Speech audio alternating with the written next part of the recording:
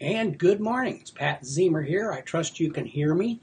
Uh, I had a little uh, discombobulation this morning as I was getting set up, as it always goes. You get ready to do something and you're using your uh, your laptop as your camera, and all of a sudden uh, uh, my camera goes out on my laptop, starts blinking, can't get it set back up. So it's either a hardware issue inside the uh, laptop or something else. So quickly I had to scramble, set up another camera, which meant the background that I normally use uh, was not in place. So we're, we're, what I'm in front of here this morning is our green screen.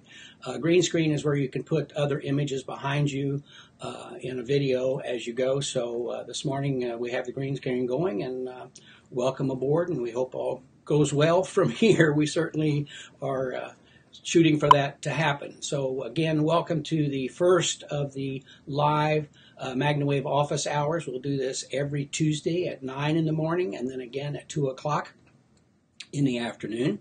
The purpose of this uh, particular office hours segment is to answer questions. If you have questions about devices, questions about training, questions about anything that uh, you want to know about uh, PEMF in general, how it works, what, what are the differences in different power devices, any type of information like that, we want to be here to answer your questions and uh, see that you get the information that you're looking for. There's a lot of information out there. I mean, you can stop and think about it for a minute, and there's many different websites, many different presentations on types of equipment, power of equipment, different models of machines and, and, the whole thing, and it can really become quite uh, confusing to to many folks when you want to see something that is uh, to answer all of your questions, and it's it's tough to get to the bottom of it. I mean, there's a world of information out there, and and uh, and it's it's all good. It's all good to learn from, and all PEMF is good, but there are differences.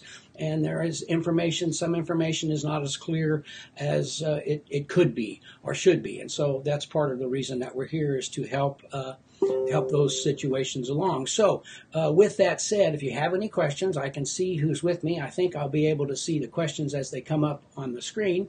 Uh, if they don't, uh, uh, Nick Stover is in the uh, room with me, and he, if, if following it on Facebook, he can, if you post a message or post a question on the Facebook page, he'll be able to then relay it to me, and we'll see that uh, you get the answer uh, that you're looking for.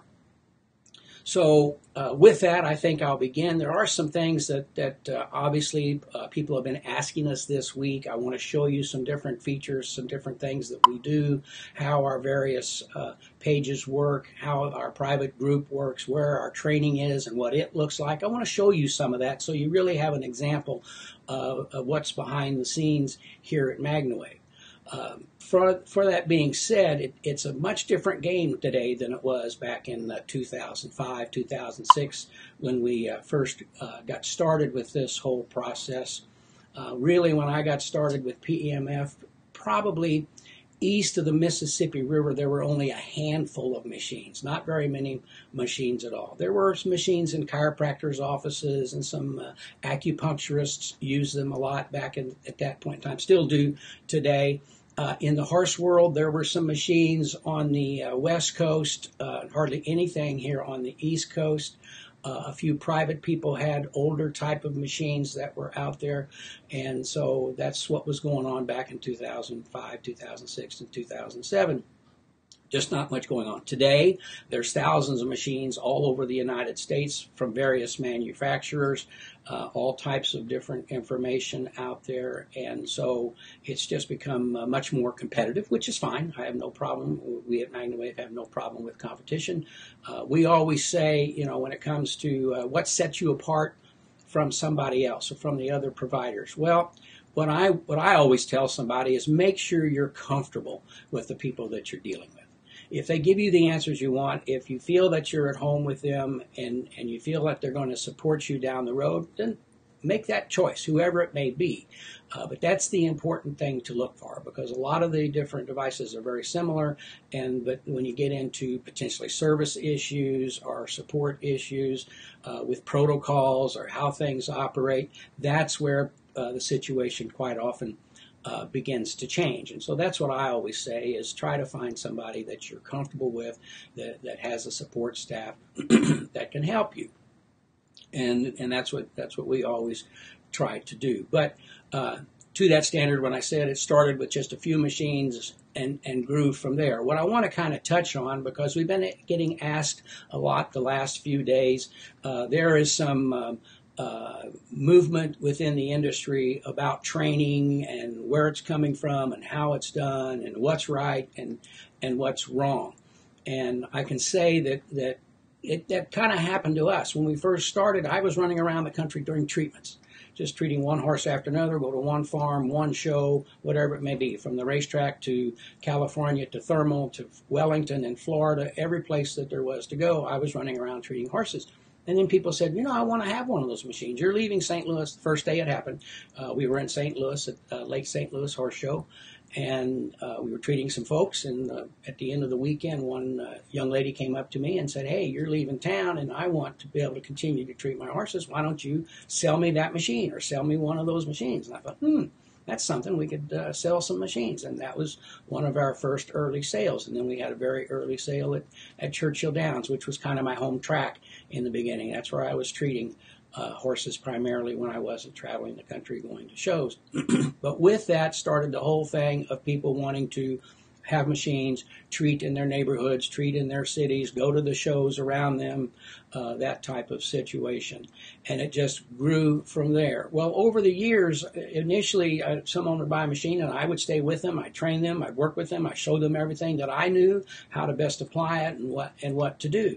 And at the time, I was treating thousands of horses a year, traveling to Dubai to treat horses, traveling all over the different uh, locations to treat for different folks. But uh, I was doing it that way. But as the people, the number of machines grew and people were farther away from us, uh, everybody didn't want to come to, to Louisville to be trained, or they didn't want to, they wanted me to come to them, but we couldn't work out a schedule, or just all that type of situation. So we decided, well, what we really need is a, a form of training that can go on, that we can cover the history, we can cover how the device should be operated. We can cover how the device does operate, so everybody's on the same page. That's what we really wanted to do, was have everybody understanding the verbiage that was used, understand uh, how the application would work, how quick it would work, uh, how many treatments it would take to achieve different uh, different result patterns.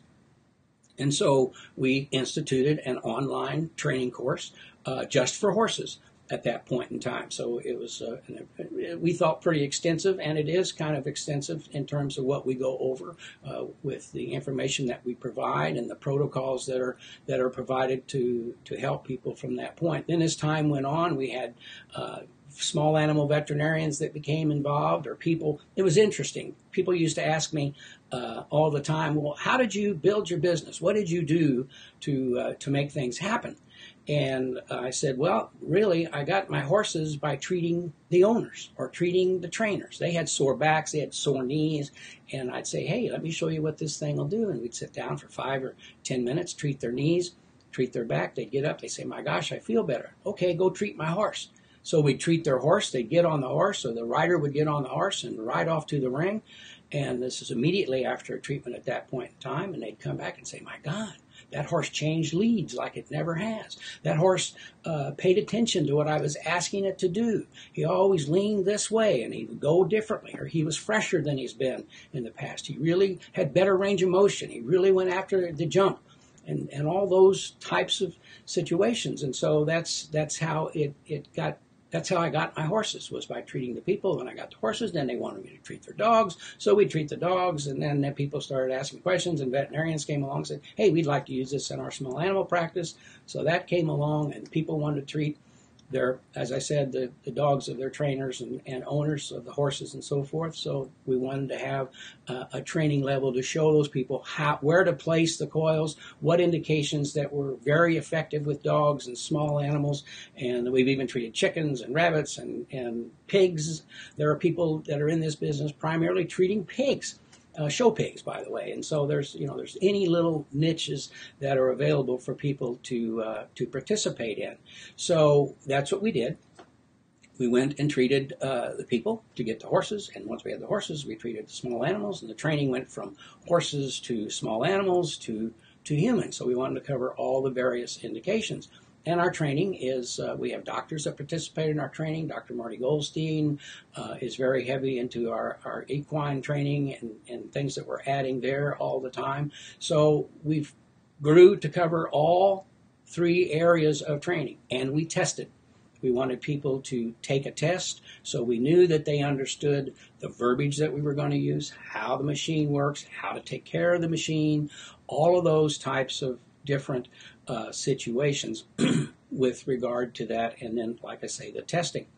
And as, as time went on, uh, we began to call it certification and certification just being this is what it is. We're giving you a certificate. There's a lot of different companies that offer certification for their services, whether it's automobiles or air conditioning or whatever it may be. They want they want it, the, the customer to know that the people using this particular these services are in fact trained to some level uh, of expertise. And and there are many people who have been trained that, that go very deep and learn very much. And frankly to say there are people that, that have been trained and come through our system uh, who at this point in time know a lot more than I do and have trained have potentially uh, learned some things that by treating their horses over the years that, that is new to me which is a very good thing, and I enjoy that. For for the longest time, when someone would ask a question, uh, it was me. And but now we have a, a, forum that people go to once they finish our training. There's 200 plus members in that forum. Uh, I'll show it to you here in a minute, and and uh, where people can ask questions. And there's 200 people, including veterinarians, doctors. Uh, practitioners will come in and say, This is what I do. Farriers will come in and say, This is how I treat this particular situation. Here's the success that I have had. And so that's a very valuable uh, place that we have for people to go to be able to learn again and understand uh, what we're doing with this device. And again, if you have any questions, uh, simply uh, put them into the into the box on the Facebook page, and we'll be sure to answer those questions as we go along. So then what happened with the training, uh, it, it, was just there. No one was really concerned about it, but we were, we were educating our people to the best of our abilities. We were adding anatomy classes. Add, there was anatomy of part of it. So we, again, we go as, as in depth as we felt we needed to do. I even contacted some accreditation boards and said, well, I'd like to become accredited. What should I do? And they said, well, create a program and start doing it and then submit it to us and we'll tell you what you need to add and we'll help you guide yourself in different directions because there's going to be a point in time when you want to be able to take this to the state level or national level in terms of accreditation or acceptance at, various levels of, of the business or the industry. And, and that's what we've been working towards over these years since we've been in the training process. Then there became a situation that there were a lot of machines out there in the field being utilized in various, and again, I'm talking equine um, uh, uh, venues and, and ho- types of horse shows, and, and some of the uh, owners or the vets or the stewards of the racetracks or whoever it was started saying, well, wait a minute, who's where are these people coming from and where are they and are they being trained? And the fact of the matter is there weren't a lot of companies during doing training at that point in time much more than here's how it works. Plug it in turn adjust it here put it over here don't turn it too high until you're used to what it'll do was about the extent that everybody did at the beginning. And because it's not hard to learn how to use the device it just takes a little time to learn how to read what the device is telling you and the best decide what is the best way to treat your, your person, your animal, or your, your horse, or your, your small animal. So what happened was all of a sudden uh, uh, some people were saying, well, let's make sure that, that folks are trained. And so we went to the stewards of the various racetracks. That's where it really started, and to the uh, state associations, uh, racing associations, and said, here's what we're doing for our training, and uh, here's how in depth we go, and, and here's what happens to them. They take a test, and this is how it goes.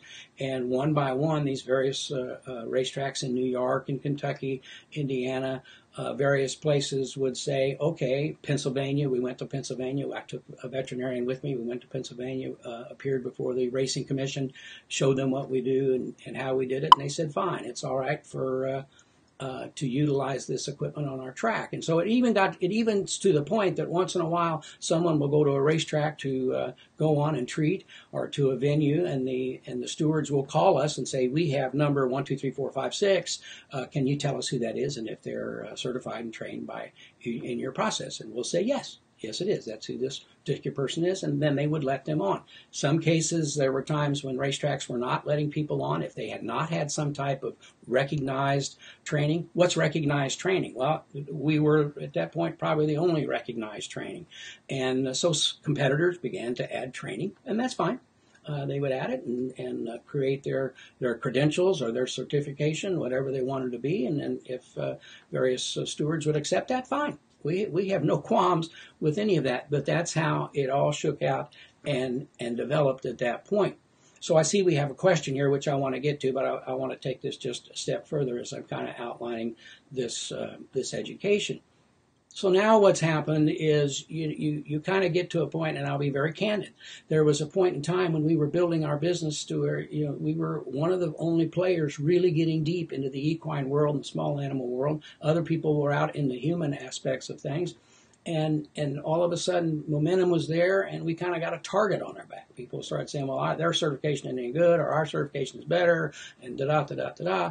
And instead of saying, well, okay, from my point of view, you know, if you go to medical school at Xavier in Ohio, uh, doesn't mean that you can't practice medicine in Kentucky. It means you come to Kentucky and you do, you get clearance and you get your boards and you do that and, and you're allowed to do that. So all forms of education to me are valuable as long as they're very actual education. Uh, not, you know, there are people in the beginning who threw three or four videos up and that was their, that was their training in a sense, we were doing that at the very beginning as well. So that's not all bad, but you have to get through that type of situation as you move forward. So recently there's been questions who governs your certification program? What is the governing body? Well, in all reality, there is no governing body of PEMF as we understand it today. Sure, it, it would fall under the FDA if the FDA would decide we're going to go after all these people that are doing this or doing that. But the basis is these devices, for the most part, are legal, off the shelf devices, class one or class two devices that don't require FDA clearance to be utilized. So you can buy a machine, use it, and, and operate as you will. Problem becomes if someone makes a claim, someone says they're going to heal something. So all those things that, that most people that are in alternative, uh, uh, integrative um, therapies or modalities uh, have to make sure they're clear in what they say and what they do when it comes to what they're talking about as far as the therapies and the services that they provide uh, to their to their customers. And so that's the you know will there be a governing body at some point in time? Absolutely. Whether that's an association or whether that's a uh, the, the all the state board veterinary boards get together and say this is how we're going to approach this and this is what we're going to require, uh, then things then things may change. Uh, but as far as a governing thing, we govern ourselves. We, we ask for reports from people. If someone has a complaint about a practitioner, we go to the practitioner and say, we wish that you wouldn't do that. In some cases, we've suspended practitioners from being able to, to say that they uh, can use our name and say that they're certified by MagnaWave and those types of those types of things. So we have that basis that, that we move on. Uh, and but we'd be very happy as things continue to develop, and, and there's uh, again maybe some master association of PEMF professionals that people can go to, and that it has a code of ethics, like much like the National Association of Broadcasters. The radio and TV stations follow those guidelines, and they, that's a voluntary agreement. The FCC can step in and say, well, you have to do this or you have to do that. So that whole kind of thing is under development. But you know, for someone to ask today, well, what who governs yours? Teaching, and this, the question goes the other way. Well, who governs so and so's teaching? It's just nebulous at this point that there's education available, people calling it different things, credentials, certifications, uh, whatever it may be. And the, the, bottom line is, are people using it properly? And then that's another thing. There's people buying machines that are not getting any education. There's people that are buying machines, getting education, and not applying it properly. That's the same in most any. Uh, profession that you go in, whether it's mechanics or law or medicine, whatever it is, there's people that don't follow the rules and try to get around them and do things differently. And that, that's the same with everybody. Was it a problem for us in the beginning? No, because there weren't very many. today, when you get up to where you got a couple, two or three hundred practitioners around the country, there's going to be some that don't follow the, the regulations or don't uh, do things or they take advantage of things or they say things that they shouldn't be saying. But all that said, that's here. So that's a little bit, I hope that helps. That's kind of a description of the education process as we have uh, moved along, and I'm sure that we may discuss that further. But let me take a look here and see that uh, um, what the questions are. It says, um, lady asked the question on iPad. I noticed that with the Zoom box and paddle box, that the box doesn't prevent the horse from putting his weight on the paddle. Will the horse's weight damage the Zoom paddle? The quick answer to that is no. The uh, the box is there to protect the paddle somewhat from the from the uh, the hoof and the and the horseshoe and, and that type of thing. But the fact that they're placing their weight on that rubber surface with the box on the paddle, it will not uh, harm the paddle. In fact, in the beginning, when we first had the paddle, uh, I was treating horses at, at, Churchill Downs Derby Day or before the Derby that were having some uh, hoof issues with the horse standing right on the paddle. Um, I, I, wouldn't do that because it will wear out the leather of the paddle and it'll get dirty and, and that type of stuff. But I hope that answers your question, Anika. Uh, let's see here. Another. Um, uh, oh, there you go. Someone, uh, Nick thanked uh, Anika for her question. Good deal. Um, Okay, so Ann Stolberg asked the question Did the FDA approval come through on the digital machines? So let me explain where that's at, Ann. Get a little water here if you don't mind. The, the digital machines, the office models of the digital machines are what is what we have in the key uh, for FDA approval. The FDA has given us a classification that these devices fit in. Now, the step for FDA approval is that in, in order to, there's this is going to get a little long, not long, but I just I want to answer it totally, Ann. The steps for FDA approval is you need to have some studies, which we have three studies that are paid for, ready to go, and ready to start. In fact, I should probably explain what our whole logic has been in the FDA process anyway. But for if if, if you you don't have to you can go to a facility and pay for a study with any type of device, and they'll do a study and say, We used this device and treated this many people for this much time, and this was our result with this device. And that can be published in a medical journal. Uh, if they so desire to do that. And there's a cost associated with that. Some of these studies run upwards of half a million dollars uh, to three quarters of a million dollars to fund uh, at the university level or the, or the large hospital level. And all of our studies are fully funded at this point, ready to go. And so you can do that. But what we have chosen to do is for the FDA approval of a device, it has to be UL safety approved. And UL safety approval is a very arduous device. In some cases, it's as difficult to gain that as it is to gain FDA approval once you have that. And so, with our new digital devices, uh, to be, I'll just back up. What we were we were about ready to be FDA approved, uh, I guess three years ago, as what they call a predicate device. That means that your device is like so and so's device and doing a very similar function as so and so's device. So you're like that. So we'll let you be FDA approved as a predicate device to do this. There was one problem. And this goes back to our manufacturer and to some history. Our devices have been knocked off three or four times uh, by other manufacturers, and they began manufacturing. Well, if we uh, were approved as a predicate device, then our competitors, and I'm being very candid, our competitors could then go, and their phone's ringing, somebody will get it, then our competitors uh, could then go get approved as a predicate device, and away you go. Well, so what we did is we withdrew the uh, FDA applications and redesigned the digital pieces of equipment and uh, actually obtained some patents as part of those devices. And that is what we're going to take back for the studies. Those are the devices that are going to be FDA, uh, not FDA, UL safety cleared. And um, then submitted to the FDA as those devices, which means that someone will not be able to take us as a predicate device. So our manufacturer, and it's cost us uh, probably nearly a million dollars if you stop and look at it, what's been spent over the years to obtain this. Uh, that's how we are approaching the FDA.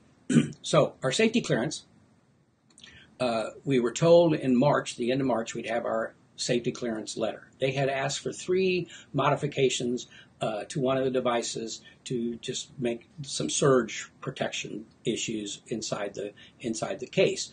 Which all those corrections were made. They told us that we'd have our uh, safety clearance at that point in time. Then all of a sudden there was a letter saying, "Well, you need to do these three things," and so we had to write back and say, "Well, these three things have been done, and here's the verification that they've been done." And so what they're playing is mail tag.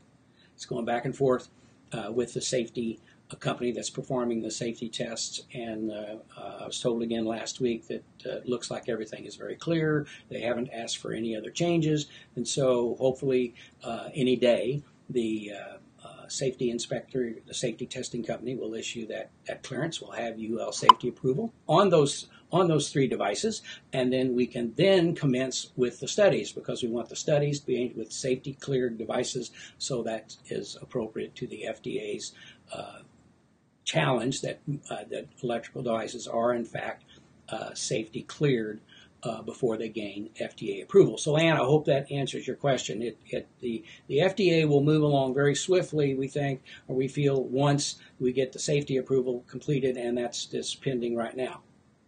To that end, as a, from a business standpoint, uh, us and our sister companies that, that represent our factory are the only PEMF company in the country that is conducting safety tests on their equipment. It doesn't mean that other people's equipment's not necessarily safe or they don't use safety tested components in their devices, but they don't submit their machines or their devices for safety testing because they're not interested in FDA approval, not interested in exporting. That's another issue. If you're going to export a machine out of the country for human use, it must be safety cleared.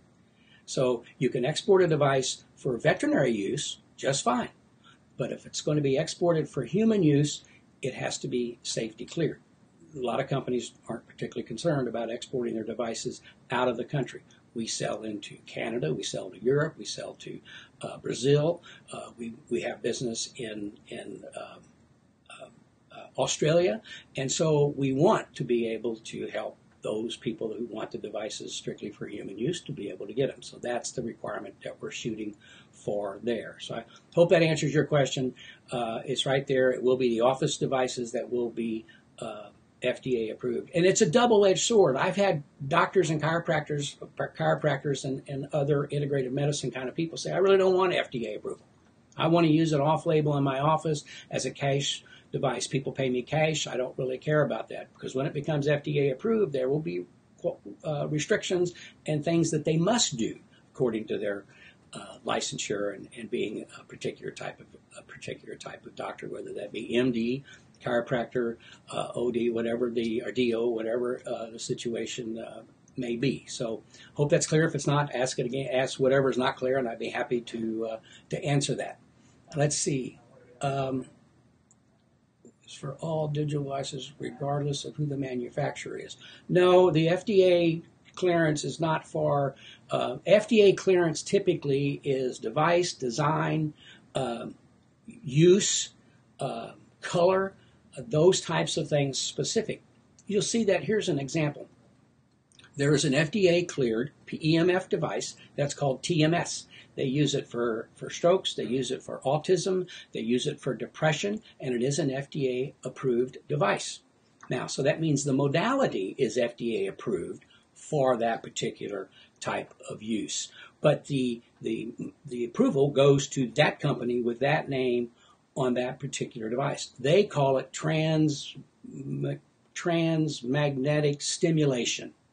TMS. They don't call it PEMF. But when you get down deep into their, their world, you'll see that it's pulsed electromagnetic field therapy. Another one, there's a device that was recently FDA approved, which is a big topic today with uh, Senator McCain's glioblastoma tumors of the brain. There's been a device made, FDA approved, that it's like a cap that they wear, like a stocking cap, and it's little pads of PEMF coils that penetrate through the skull to help with uh, hopefully tumor reduction, slowing of tumor growth, any of those types of situations. and and that particular device also calls their PEMF something a little different, so they can set themselves apart. They don't call it PEMF. They call it something else. So to say that FDA approval will cover all devices regardless of the manufacturer is not the case. It will cover devices from the manufacturer that it gets gains the FDA approval for their particular device. Uh, now, if there are several people selling a device for a manufacturer, those devices, by virtue of moving along through their sales chain, will be uh, FDA approved. They may have to alter their name of the device that's FDA approved a little bit so it matches in some way the FDA approval. It's kind of like Viagra. Uh, Vi- per- I always use this as an example. Viagra, as may- most people know, is a heart medication. Was originally uh, formulated as a heart medication. Then they found out that it can be used as an enhancing uh, type of drug. So they got FDA approval, different color, different design, different name, same drug. And, and so it's it's specific. I hope that helps with with the explanation. All right, here's a kind of a long question. Um, from Mr. Schmidt. Uh, I've noticed my back muscles seem tight after my last two treatments with the Max machine. Is it possible that it turned up too far? The machine's the machine seems to be helping immensely with my herniated bulging disc pain as well as my hip pain. Uh, a surprising benefit is the fact that my BPH seems to be improving with every treatment on my lower back and hips. Well, a funny thing happens when you when you go to treat. Um, the body recognizes uh, you've got some issues there, Gary. I mean, you've got several little things that, that you're dealing with. The body tends to recognize one pain at a time. You may be hurting all over, but there's a primary place that you're hurting. And so you, you, you, your brain's recognizing that pain. And so you go there to treat that area. If it's helping your hip or your herniated disc, uh, all of a sudden over here you're getting some tightness in your back. That could be a referral. Uh, could be a referral. However, it, it could be a situation that, depending on where the machine is set, um, two instances here.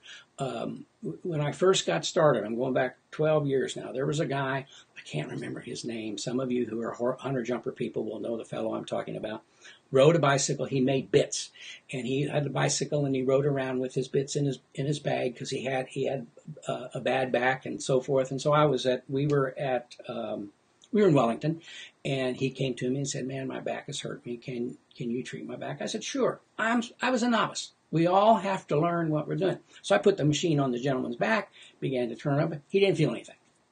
He didn't feel anything and and I just don't understand. I'm not feeling anything, so I'd turn it up a little bit more. Finally, he started feeling it a little bit. And he said, "Oh, that's great. I, I, that really that really feels good."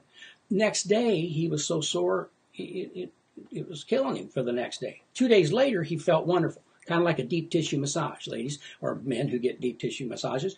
If if you get a deep tissue massage, you're a bit sore after it's over, then you feel better the next day. That's what he went through. Then he comes to me and he tells me, Yeah, I was a paratrooper. I did aerial photography for a long time, broke my back five times. I, I have an incredible uh, pain level tolerance.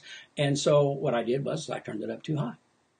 And so, yes, can that happen? Can you overstimulate something that the person can be a little sore before afterwards? Yes. Uh, is it a norm? No, because we don't have to do that. So it's one or two things. It could have been a little high on your back at that point, or it could have been all of a sudden something is showing up because the other stuff, the other areas are feeling better. You're having relief there and something else is showing up. I had that all the time with when I first started with racehorse jockeys. They'd come to me and say, Oh, my low back, my low back pad is killing me. Fix my low back. I'd treat their low back and they'd stand up and they'd flex, they'd touch their toes. Oh, it feels great. Next day they'd come back. What'd you do to me? What do you mean? Well, my shoulders are killing me. Well, their shoulders were killing them before, but all the pain was in their low back. So then we treated their shoulders and we kind of followed the pain around to see where it was going. Bingo. They got the relief they were looking for. And you got to do that. You'll see that on a horse. Where is it revert? To or from? Well, we don't diagnose. We don't know necessarily, but we can see where the sensitivity is on a horse and we can work the sensitive areas and, and figure it out wherever it's coming from. That's not our decision. That's the veterinary decision of where it's coming from. But we can we can show that. I had plenty of times in the beginning when someone would come up to me and start asking me questions and ask me to do a horse and show them show them what what the horse is showing me. And uh, turns at the end, I knew you're a veterinarian. You just and he said that's exactly what my what I thought was going on, and that's pretty neat that you can show me that. So again, we talk sensitivity and not soreness. So I hope that uh, helps with that question, Gary. Let's see. Um, let's see if there's another one coming up here. Nope, nothing else at, at this point. So if you have a question, uh, just enter it into the uh, box there, and I'd be uh, happy to answer it. Uh, whatever that question may be, it's one of the things that, uh, if you go to our website, uh, one of the things that I think sets MagnaWave apart is we try to be totally transparent. If you go to our website, it's all there. The information is there, the research is there, the pricing is there, everything's there. You can go to my website and learn everything and not give me one bit of your information. But I feel like that if you go and you get that information and you want to talk about a specific machine, you'll give me your information and ask for us to call you. Other places require that you give them your information before they'll give you any type of in-depth information. I hate that. I hate that when I go to websites and I and I refuse to uh, do that uh, with regard to our communication with our customers. We like to be totally transparent and it, it's all there. It, it, it, amazes me when somebody will, will come and they'll say, Hey, I'm looking for this information. And I'll say, Hey, if you go to this tab and this sub tab on the website, there's your information that you're, that you're looking for. And uh, it, it, it just, we do our best to, uh, to have all the information that will be very helpful to help educate you about PEMF and, and what it can do, to help um, um, help educate you as to machines, as to what you might want, if a machine is appropriate for you, or if you want to purchase a machine, whether it be for personal use, business, or whatever that situation may be. We, again, we want to be totally uh, um, uh, transparent in that way, in that situation. And you're welcome. I hope that explanation uh, was clear enough for you. Um, again, uh, there aren't many companies out there in this field that are pursuing that level of testing and approvals uh, for their devices, uh, whether it's one, a one device company or a multi device company. And that's a good question to ask someone. What are you doing here? Are you safety testing? Are you interested in becoming uh, FDA approved? If a company doesn't want to ship out of the country and they don't care about selling uh, to to doctors or having people be able to use their their insurance. Primarily, what the FDA gives you is the ability to char- to bill insurance companies. Doctors can use devices off-label or use them how they how they wish, but they can't get paid by insurance. Well, we all know that a lot of medicine is insurance driven, so that's why they want FDA approval so they can charge um, charge for uh, their services. Let's see. Um, uh, Gary again, thank you, Pat. My entire spine has either been broken or has uh, herniated bulging discs. I believe 14 bulging and four herniated, my goodness, discs, along with seven broken vertebrae. I cannot believe the relief I've gotten. Pretty certain I turned it up too high against the therapist's advice. Uh, that, that, that happens. By the way, I'm an old horseman who uh, I figured if a little was good, a lot is better. Lesson learned. And, and that's true. I mean, our devices go up very high. And, and there are, rarely does somebody treating the body of a person or a horse uh, or a small animal turn that machine up all the way uh, to the top. Now, when you're treating an abscess or you're treating someone's ankle, you might turn the machine up about as high as it'll go in some cases to get as much energy as you can into the area that, that you're that you're working on. So, but more is not always uh, better uh, when it comes to this.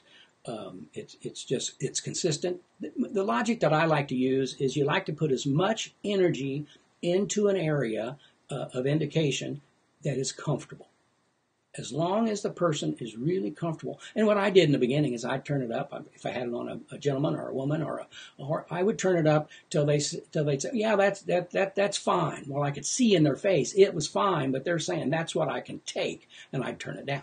I don't want what they can take. I want what is comfortable, and and that's kind of a, a guideline that we we would work on and train on. Um, so, uh, but that brings me to. Let me see if we have another question here. Um, Yes, we do have a question. Any experience with shivers in horses seems to cause an episode when I'm treating the poll area. Stifles show inflammation too. Uh, I don't quite understand what, what you mean, uh, Tamara, about your your total question. Yes, we've had experience with shivers. We've had success uh, with in the area of shivers. I could probably pull that up on my notepad and take a look see there uh, what what we have seen. uh, seems to cause an episode when I'm treating the poll area. Well, you know, I would say one or two things. You want to, there could be an indic, if it, here's what I always try to say. If, if I would be treating a horse and, and the horse was not better to some degree after two or three treatments, I would say you need to see your vet. Not that this device is going to turn everything around, but it does have a tendency to show you some things that are going on. And, and it, by the oxygenation and the improved blood flow, a lot of indications can in fact begin to be better, to appear better, to the horse is more comfortable, the person is more comfortable. But if it doesn't resolve to some degree uh, after two, three, or four treatments, then there's something deeper going on. There's something going on in the body that, that you want to get to, and it's it's a that's a veterinary question. We're not veterinarians. Some of us are veterinarians, not me, but some of the practitioners are veterinarians, and and they, so they can do that. They can go as take that explanation or thought uh, as deep as as they want. But I would say, eh, you know, just thinking off the top of my head, if you're up in the poll and you're getting that type of thing, perhaps you're a little high. Turn the machine down. You don't have to. You can be on the poll to clicking sound just as fast as that thing will click, and you'll still watch that horse's head drop. It's not about the power in that point, it's about where you are. So just be comfortable uh, in that type of situation uh, as you're as you're looking at it. Hope that uh, hope that helps. Um, so uh, stifles show inflammation as well. Uh, I don't know if you mean after you treat or um, if they're inflamed and then you then you treat. What what's what's going on. You're not going to treat the poll in the neck and cause the stifles to become inflamed. There's something else going on there. Um, if you get movement in the stifles, that would be a question I would say. What kind of reaction are you getting in the stifles at your scan? You know, we often scan the horse at a low setting or the animal or the person at a low setting looking for areas of sensitivity. This is where my back is sore. It shows on the horse where they where they have some sensitivity in the area. And, and I've always I've always said. In fact, there's a, a particular story uh, that I that I deal with. I, I was in Michigan um, and and treating a horse, and a friend of mine who was a veterinarian from Florida was in Michigan at this particular horse show treating some horses. And I treated this woman's horse, this trainer's horse, and uh, I got more movement in the stifles than I normally did when I treated a horse. And so I went to the to the owner and I said, you know, I got some movement in the stifles more so than I normally get on this horse and when I get in horses in general. You probably ought to have the horse checked. Call your vet and have the horse checked. Well, she did. And lo and behold, my friend shows up. I didn't know who her vet was, and he comes walking in and he says, So, you've determined that this horse has got stifle problems. And I said, No, uh, I, I, didn't say that. I said I saw some sensitivity in the horse that I don't normally see, and I just felt it was something that you should probably look at. He said, okay, I will. I appreciate that you bringing that to their attention. As far I know it's in the sacrum and, and the backs, but I'll, I'll, take a look at it. So he went on, went on down and looking at the horse, and I went on to treat another horse.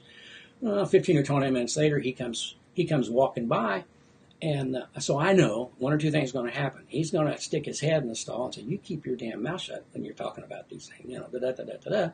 Or he's going to walk on by, and sure enough, he walked on by, and I'm saying, all of a sudden he stuck his head back in the stall and he looked at me and said, You were right. I had to treat both stifles. Well, you know, that's what you, you learn the more you do this, where you see things, where you see sensitivity. And, and I was very glad. And he was and he was glad. The owner was glad. And so all I did was pointed out some sensitivity that I didn't normally see uh, in the stifle. That brings me to another interesting story, but we're kind of getting close on time here for where we're going to go this morning. And let's see, no other questions at this point. Got another question coming up? Did I miss one? Yeah, there's one on Uh, let's see.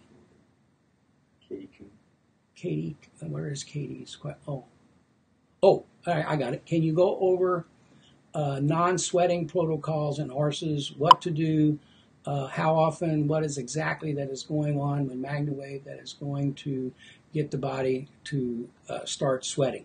Well, basically, what you're going to do, and there are a couple of protocols. We've had a lot of success when using the, the paddle on on the neck, the shoulder, and the, and the uh, breast, uh, chest area uh, of the horse when when they're non-sweating issues.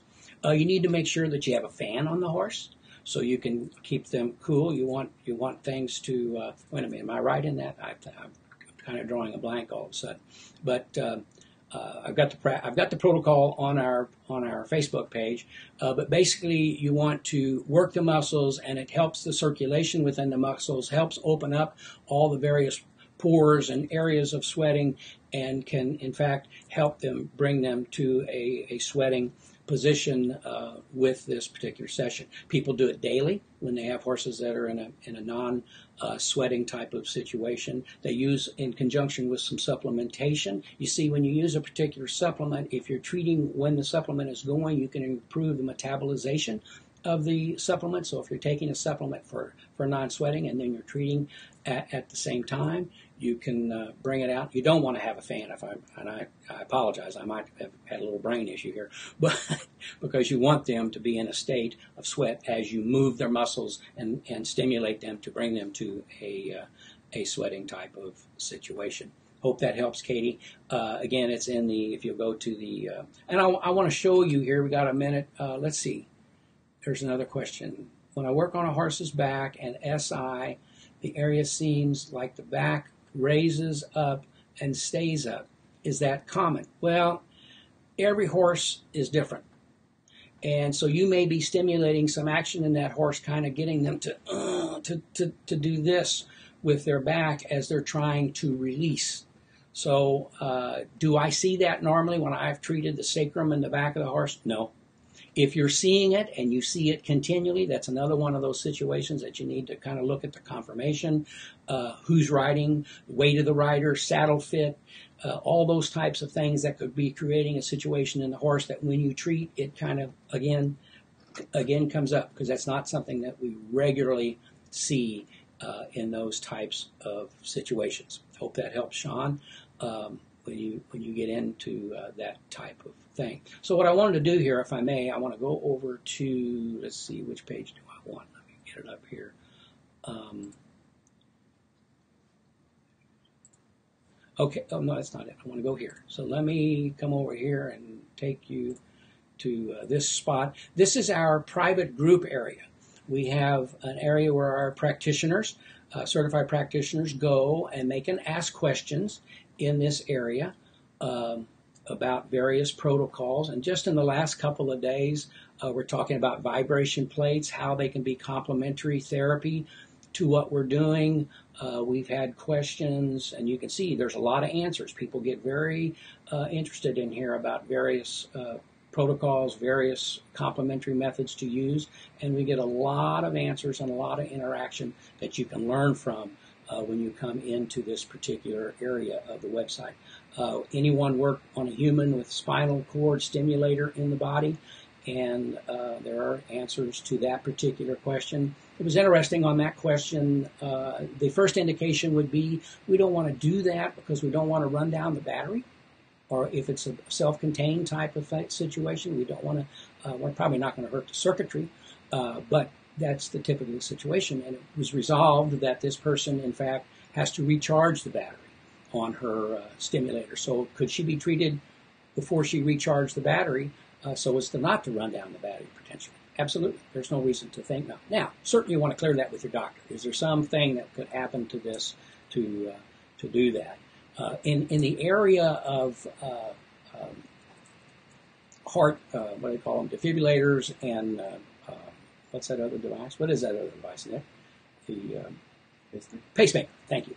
Um, we've had doctors recently, because of some of the new stuff happening with pacemakers, and some of our literature talks about the digital machines only need to be a couple of feet away from uh, those types of situations. But some doctors have said, no, you're going to treat your low back, or you're going to treat your knees, or your ankles, or your shoulders. You can do that, in this, and you have a pacemaker. That's not a blanket approval to do pacemakers. That's just what's happening with technology, and some people are sharing that, and we do that kind of stuff here on the. Uh, here's somebody looking for a horse to be treated in Socrates, so we help people uh, spread the word where they're going to be and what needs to be needs to be done.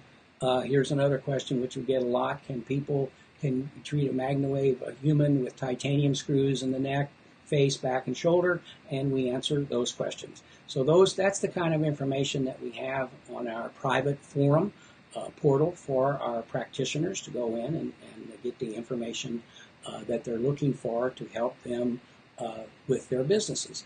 and, and the practices that they're doing. So um, I wanted to, to, show you that to give you an idea, and that goes on and on and on. A practitioner can go in there and uh, put in an indication, um, shivers or stifles or whatever it may be, and anything that's happened in the last seven years that's been talked about in that forum with answers or, or guidelines, we call them guidelines, uh, to how to treat a specific thing, it's there. Seven years worth of information and history, again, from doctors, practitioners, veterinarians, the whole nine yards. And it, it's, it's a wonderful wealth of, of uh, activity and knowledge uh, for the practitioners to learn and to better help them provide their treatments. Uh, let's see, any other questions? No other questions at this point? Okay, um, it's about 10 minutes till 10 Eastern Time. Uh, we'll be wrapping up here in, in, just a moment or so. So I wanted to um, uh, to thank you uh, for being here. I don't know how many people were here, but that, we'll figure that out as as we go along. But uh, I've enjoyed it. Uh, kind of brings back some old memories. Back in the '90s, I did some uh, in another life. I was doing some talk radio, and I, if you remember, the poor guy just died recently. He was a great guy. Alan Colmes was a very liberal uh, commentator, and I was more on the central or uh, conservative side of things at that time. And Alan Colmes and I used to uh, go around. As a matter of fact, here's my uh, 15 minutes uh, or, or my association uh, with someone. Mike Pence, our vice president, used to do a radio show in Indianapolis. I was doing mine in Evansville, Indiana. Mike Pence was in Indianapolis, and we would confer a lot because we both went round and round with uh, Sean Combs and and, uh, and, some other folks, and it was a lot of fun fun doing that at, at that point in time. And so this this has been fun, kind of sitting here uh, sharing with you and talking with you and answering your questions, and, and I look forward to doing that each week. Uh, what would be the best tool for the knees? Question. Uh, well, um, Serena, you know, probably the best device, the best uh, attachment for the knees would be the butterfly because you could open the butterfly up and place it right over the knee, you know, left to right. Uh, if you if the way if you've got the butterfly or you've got a circle on the butterfly, the signal is going like this. So if you put that butterfly over the knee, with the knee being here, you're going this way through the knee. Or you could close the butterfly, place it on top of the knee, and go down through the knee, put it underneath the knee, and come up through the knee the situation is that the we attain the best results when you approach the tissue from different directions and different intensities. So if you use the butterfly on the knee, now that's with that being said, you could put the large loop right over the top of the knee, kind of buck, you know, hold it down over your knee and turn it up to a comfortable setting and treat your knee with the large loop. You could do the, butt, the paddle. I have some people that treat both knees. They'll simply put the paddle between their knees and it'll go back and forth and treat their treat both knees at the same time in a left to right uh, type of situation. But as a rule, I would say your best apparat- your best attachment for the knees would be the uh, butterfly um, at a comfortable intensity for five to seven minutes. Uh, another little thing here, you know, once you've treated an area, uh, if you've treated an area for 15 minutes, you're done. Uh, you don't need to go if 15 minutes is good, 30 minutes isn't going to be a lot better. The body's got the energy that it needs at that point in that type of treatment time, so you can move on to treat other things. Seven to eight minute treatment time is pretty standard. Uh, 15 minutes is plenty. Uh, so just from that perspective, when thinking about your knees and the and the apparatus that you're using, uh, let's see, uh, knees for horses.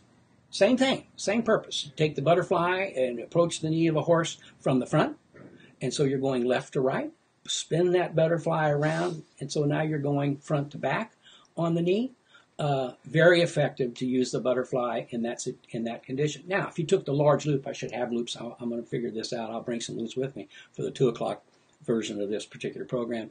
Uh, if you take the large loop and you wrapped it around the knee to where you've got a, a up and down closed circle on both sides, now you're going up and down the leg. So you can go up and down, left and right, front to back, different intensities. All the tissue likes that.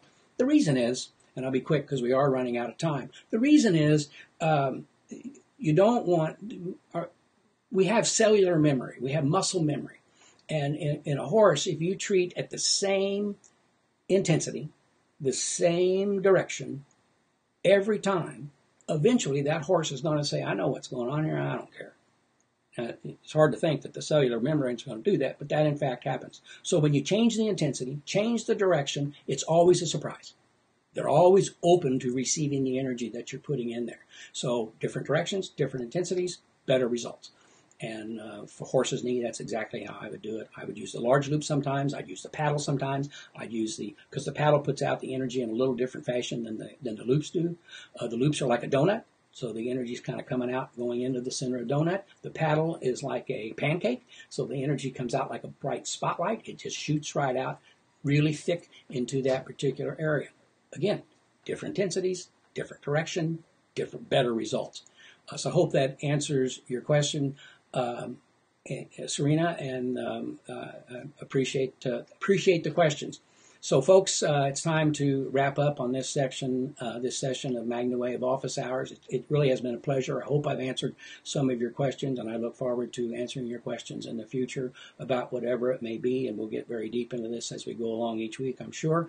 So, for those who want to come back this afternoon, we'll be back at two o'clock with the same format uh, same type of activity to answer your questions and to converse with you about uh, better ways to use PEMF uh, to achieve the wellness that you want anytime.